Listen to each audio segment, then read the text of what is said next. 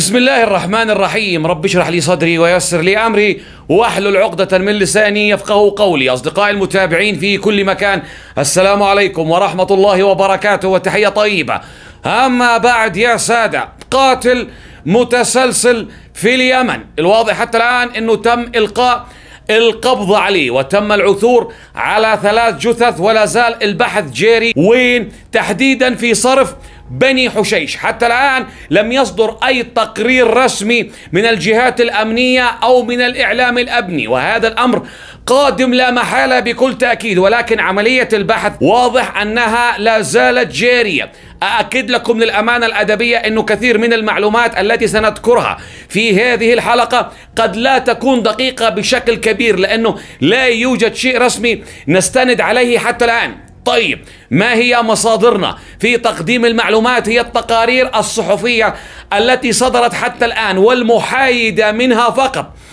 الصحف التي تحدثت عن هذه الواقعة بشكل محايد وركزت على الجريمة سنستقي منها المعلومات لأنه للأسف في بلادنا كثير من الأقلام الصحفية أصبحت تركز فقط على توجيه الضربات السياسية. من أي جريمة؟ حقوق الضحايا مش مهم تفاصيل الجريمة مش مهم. إن إحنا نخرج بتقرير توصيات صحفي مش مهم.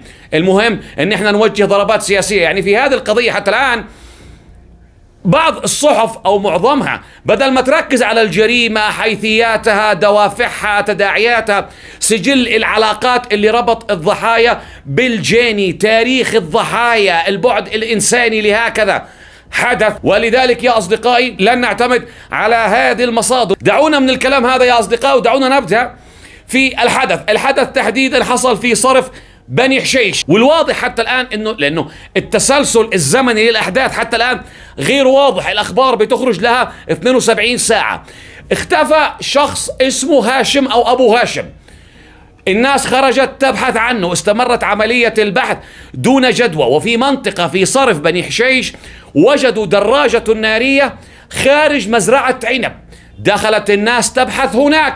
فريق البحث في نقطة معينة. اشتم رائحة نتنة البعض عرف إنه هذه رائحة تحلل جثة وين؟ في حفرة. والواضح حتى الآن أن الحفرة هذه كانت سطحية لأنها لو كانت عميقة لما صدرت رائحة. بالنبش فعليا وجدوا جثة هاشم.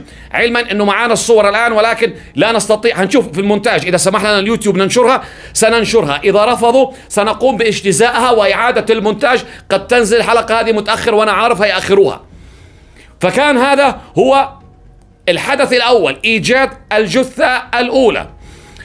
مع استمرار عملية البحث بعد ساعات وجدوا جثة أخرى في نفس المنطقة. والواضح كذلك أنه مرتكب الجريمة واحد عصر الجمعة الماضية. كذلك وجدوا جثة ثالثة. هذا دلالة أنه بعد إيجاد الجثة الأولى بدأت عملية تمشيط للمنطقة. وجدوا جثة ثالثة. وين؟ داخل غرفة حراسة مزرعة. مدفونة داخلها. وهذه ثالث جثة. الآثار تشير أنه مرتكب الجريمة هو واحد. ليش؟ لأنه الجميع قضى نحبه بنفس الطريقة. ضربة بفأس أو بحجارة على الرأس. هذه مباشرة دلالة على أنه مرتكب الجريمة هو نفس الشخص. قاتل متسلسل يقوم بارتكاب جرائم قتل في صرف بني حشيش. الأخبار حتى الآن بتقول لك أنه في أربع أشخاص مختفين في نفس المنطقة وإنه حاليا جاري انتشال جثة رابعة. أؤكد لكم للمرة الثانية لأنه نحن في زوايا مظلمة لسنا قناة فرقعات وإنما قناة حقائق. حتى الآن المعلومات هذه اللي خارجة من التقارير الصحفية. هننتظر التقارير الأمنية. طيب ما هي تطورات الأحداث والتحقيقات حتى الآن؟ الواضح أنه في هاتف الضحية الأولى هاشم الشرطة وجدت أنه تواصل مع شخص اسمه علي عبدو الصرفي أو الصرفي أو الصرفي.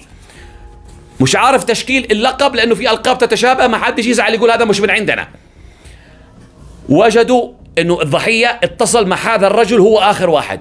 فتم إلقاء القبض عليه. أعتقد الآن بعض الصحف بتقول لك إنه هو اللي شارك في انتشال الجثة الثالثة والرابعة مع التحقيق معه اعترف بالسته هذه المع... ستة غير الثلاثة. المعلومة هذه حتى الآن غير دقيقة. وهننتظر الإعلام الأمني وتصريحاته حول هذه الجرائم المتسلسلة. ما هي اعترافات الجاني؟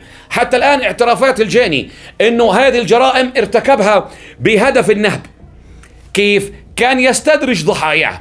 يختار الضحية ويقنعه إنه في فتبة عندهم هناك في صرف بني حشيش إنه يوجد هناك كنز مدفون. ويقول له الكلام هذا سر بيني وبينك ما تكلمش حد وأنا محتاج حد يساعدني في الحفر عشان نطلع الكنز وأنا ليا كذا وأنت ليك كذا. ولازم تجيب معك الآلي احتياطا للحراسة. لا أحد يجي ياخذ مننا الكنز ولا شيء. وفي ناس كثير بسطاء. في ناس على قده يروح يصدق ويفرح بهذا الشيء. المهم كان يصطحب الضحايا ويروحوا للموقع هذا عشان يحفروا. كان هو يمسك الآلي ويخلي الضحية بحسب اعترافاته التي لم نرى نسخة منها في النيابة ولكن خارج من تقارير صحفية. أنا يهمني الدقة هنا. إنه كان يخلي الضحية هو اللي يحفر عشان يخرج الكنز. وكان لما يلقاه خلاص بدأ يتعب وينهك ينهال عليه ينهال عليه بآلة حادة. غالبا فأس على الرأس ويدفنه في نفس الحفرة اللي حفرتها الضحية. يدفنها فيها وياخذ بندق الضحية وأنتم عارفين سعر البنادق بآلاف الدولارات. ويمشي ويبدأ البحث عن ضحية أخرى. هذه هي المعلومات الواضحة والمتوفرة حتى الآن. أسماء الضحايا اللي وردت حتى الآن. واحد اسمه هاشم أو أبو هاشم ويونس علي حزام وعبد الوالي النهاري. هؤلاء هم الثلاثة اللي وجدوهم حتى الآن. هل هناك جثة رابعة؟ هناك أخبار عن بحث عن جثة رابعة. البعض بيقول لك في أربعة مفقودين. بعض المصادر بتقول لك أنه اعترف بستة غير الثلاثة وأنه مش فاكر الأماكن اللي دفن فيها الجميع. هل هذه الروايات حقيقية أم هي تهويل صحفي؟ المؤكد حتى الآن أنه الفاعل إذا كان هذا هو فعلا الفاعل لأن أنا مش هقول هذا هو المجرم حتى النيابة تعلن. حتى الإعلام الأمني يقول لك هذا الإنسان أنا لن أورد صورته حتى يتم التأكيد. إذا كان هذا هو الفاعل فهذا هو بالفعل في يد القوات الأمنية التحقيقات معاه مستمرة. البعض بيقول لك هو اللي شارك في إيجاد الجثة الثالثة.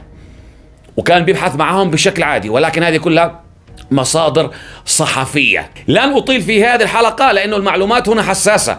وسلسلة جرائم. كيف هتتطور الأحداث؟ هننتظر الإعلام الأمني. يخرج لنا بتقرير هذه هي المعلومات المتوفرة حتى الآن. أجد بعض المصادر الصحفية تبرر لك هذه الجرائم بسبب الوضع الاقتصادي وهذه في حد ذاتها جريمة. من يبرر ارتكاب جرائم كقتل ومتسلسل أيضا بسبب الظروف الاقتصادية هذا التبرير في حد ذاته جريمة لأنه الجرائم تحدث في كل مكان في العالم والقتل المتسلسلين هذه عنده مشكلة منتليتي كذا في العقلية.